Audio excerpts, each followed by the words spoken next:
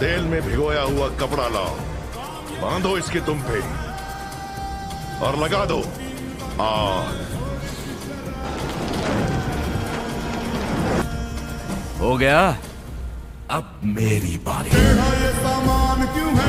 आफत में जान क्यों है? बच रहा बवाल क्यों है? ये जो तुम देख रहे हो ये केवल एक झलकी है। उस आने वाले हाहाकार